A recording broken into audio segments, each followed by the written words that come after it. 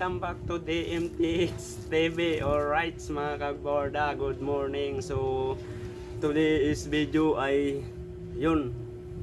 Ah, Kaya tayo nakagawa ngayon ng video dahil may nag-comment na sa akin. So, one month tayo hindi nakapag-upload sa YouTube channel natin Kasi hinihintay ko lang na may mag-comment sa channel natin. Ayan mga kaborda, mayroon nga nag-comment sa atin kung paano daw.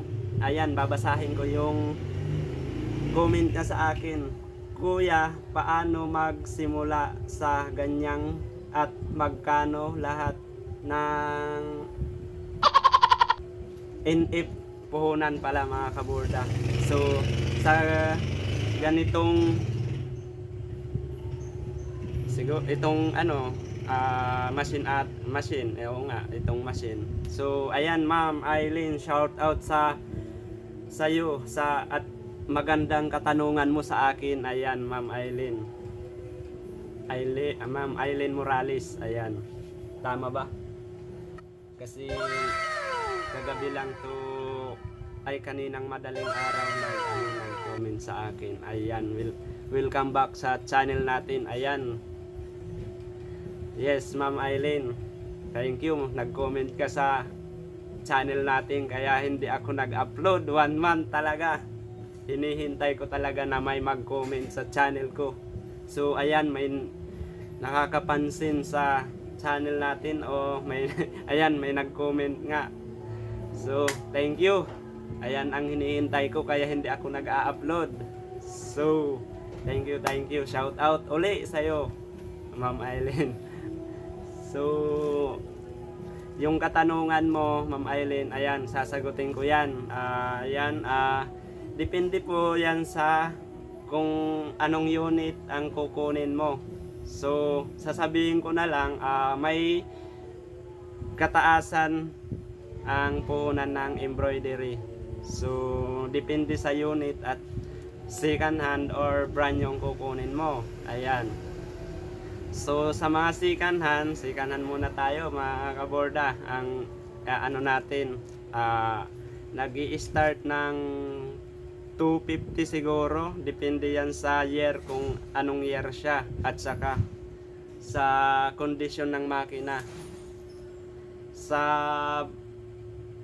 brand new naman, nag-i-start ng 400 or 350 pataas ang mga brand nyo siguro hindi ko sure kung basta mga ga- sabihin na lang natin mga ganun ang starting sa prices nila.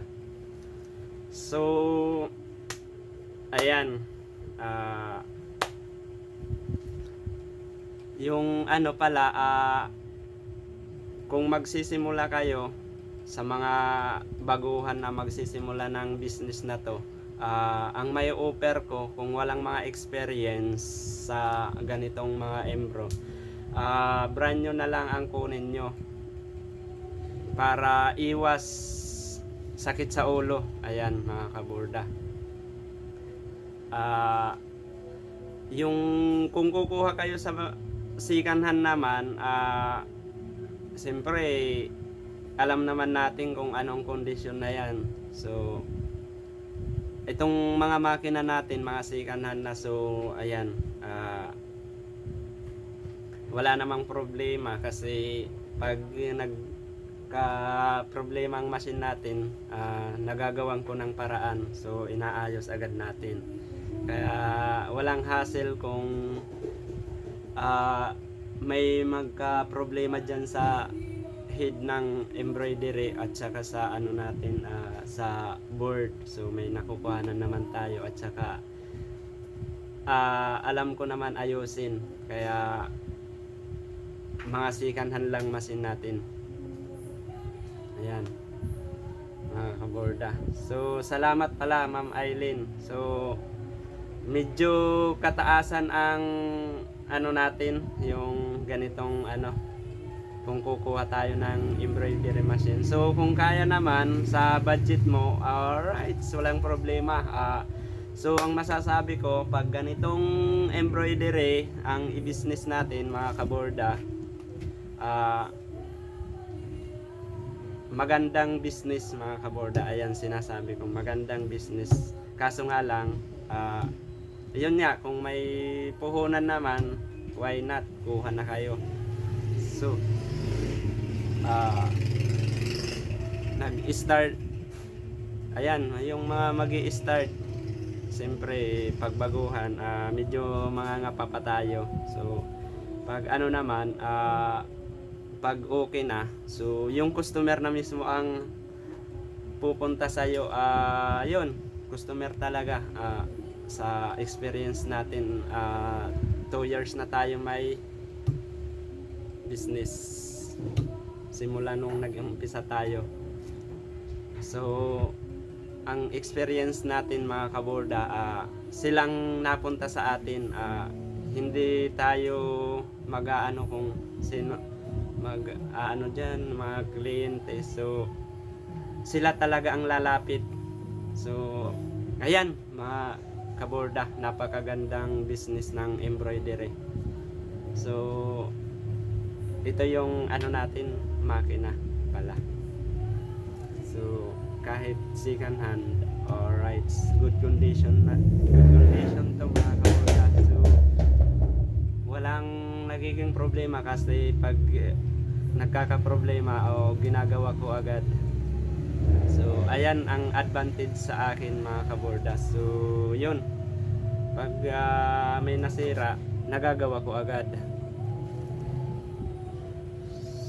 Ayan. Mm, ano natin.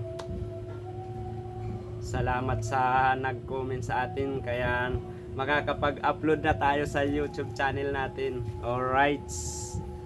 So, isang buwan talaga mga kaborda hindi ako nakapag-upload. Yun nga, ah, inihintay ko lang na may mag-comment sa channel ko. Ayan, napaka saya ko ngayon kasi may nag-comment kaya nakapag-upload si Super Mario sa channel niya ng DMTH Embroidery. So, ayan, ah, yung mga mag inquire mga kaborda. So, bisitahin nyo yung Facebook page natin. Ayan. ah, yung ano natin. So, yung mga magpapagawa dyan, ah, i-ano nyo lang, ah, mag, ano na lang kayo, mag comment doon sa channel natin kung may mga ipapagawa kayo. ah, so, ako kasing gumagawa dito, nag-embroidery. So, minsan natatagalan tayo mag-reply. At least nagre-reply ako mga kaborda. Kasi hindi lang naman Facebook page ang tinitingnan ko. Ah, tinitingnan ko lang pala pag may time ako. Kasi ako nag-ooperate ah, basta. Kaya medyo busy. Pero basta yan mga kaborda, mag-comment na lang kayo. Ah, hintayin nyo lang ang reply ko dyan sa ano natin sa Facebook page natin mga kaborda. So, ayan, salamat. Shout out uli sa'yo. Paulit-ulit na lang, Ma'am Eileen. So, ayan, nakapag-upload na tayo sa YouTube channel natin. So, ayan lang, ang mga baguhan pala ah, na kukuha ng ganitong business, embroidery. Ah, yun nga, ah, brand new ang kunin nyo. Yan ang maisasuggest ko sa inyo. Ah, napakagandang business ang embroidery kung magsisimula kayo. Ayan ang maisishare ko sa inyo sa mga na nais mag business ng embroidery. Ah, so salamat, salamat. Ayan lang muna. So peace out na tayo. Ayan mga kaburda.